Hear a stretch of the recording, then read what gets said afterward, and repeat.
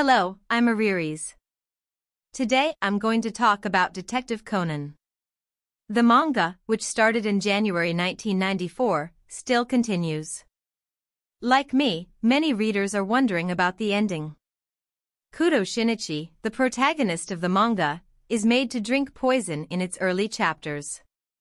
He is rejuvenated as a result of this poison. Do you think Shinichi will be able to revert to his previous state?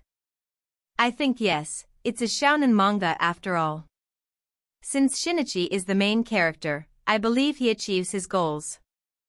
So, how will Shinichi's antidote be created so that he can return to his regular state? Is it going to be produced or not? According to Agasa, in order to develop an antidote to a poison, must first know the poison. This reveals that knowledge of the production of apotoxin 4869 is needed in order to develop an antidote.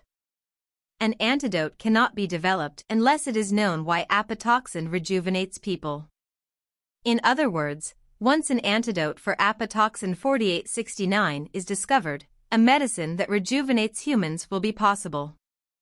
The antidotes that Shiho has developed so far allow them to return to their normal state for a short time. So, how will Shinichi return to his former self permanently? I believe the answer to this question is time. Conan's universe, as we all know, has yet to pass a year. Conan should be back to normal in around a year after taking the medicine, in my opinion. Similarly, I believe Mary and Shiho will be back to normal one year after taking the drug. Although Shinichi thinks this medication as poison, many other people may view it as a miracle. As a result, I don't believe Gosho sensei would ever create an antidote. I think this way because Gosho sensei said in an interview that he dreams of a happy ending for Shiho. To be honest, I doubt Shiho would be happy if she developed the antidote.